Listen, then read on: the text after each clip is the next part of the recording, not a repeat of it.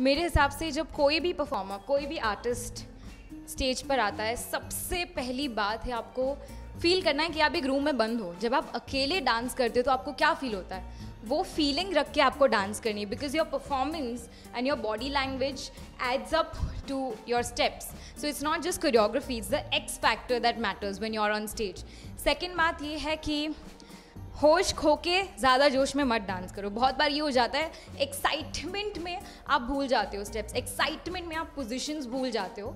तो आपकी रिहर्सल इतनी पक्की होनी चाहिए। तो सेकंड पे रिहर्सल डेफिनेटली इतनी पक्की होनी चाहिए कि आप होश और जोश दोनों से परफॉर्म करो।